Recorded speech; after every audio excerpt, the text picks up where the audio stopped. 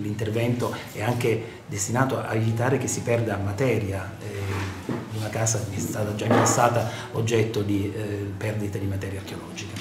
Ma oltre a questo ovviamente continua la manutenzione ordinaria per evitare che ci sia nel sito un degrado che poi sarà difficile fermare una volta che si rientri nella normalità.